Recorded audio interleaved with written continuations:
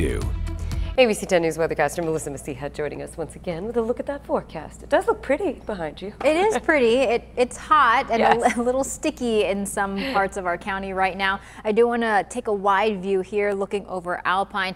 Keeping a close eye on those clouds as we get closer to the 5 o'clock hour because we are still dealing with a chance of thunderstorms as we continue on into the evening. We've seen some activity to the north of us as we zoom on into San Diego County. Not seeing anything just yet, but that could change here as we get into our later hours. Our other weather headlines, that heat, yes, we've all felt it, especially inland. The advisory has been extended through Tuesday night for our inland valleys. We're keeping an eye on the small chance of those isolated thunderstorms. We're dealing with that chance tonight and then it, into tomorrow by Wednesday that does start to diminish. And then finally, we will start to see cooler temperatures heading into the July 4th weekend. A lot of people enjoying the day today. This is a live look here at Del Mar. Every time I take our beach cameras, I always say, gosh, I wish I was out there with them. But yeah, it was a nice beach day today because check out the temperatures here across the county. Hot inland, still in the upper 90s in Ramona. Ramona Airport hit 99 degrees today.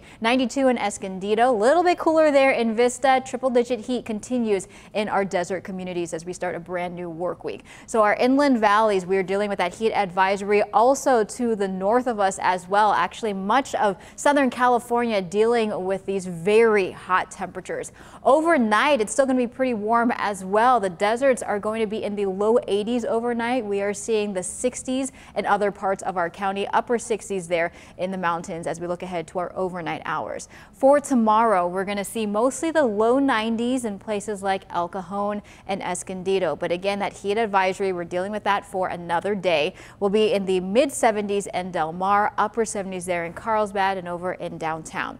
Your seven day forecast, we are gradually going to start to see that cool down going from the mid to upper 70s back down into the low 70s just in time for the holiday. Hard to believe we're already talking about July, but it is here. We'll get out of the 90s and then into the low 80s by Friday into Saturday. In our mountain areas, that's where we have the best chance of some of that activity, the thunderstorms. Upper 80s for today, 70s by Friday into Saturday, and the heat continues in the deserts, 113 and then 112 by the middle of the week.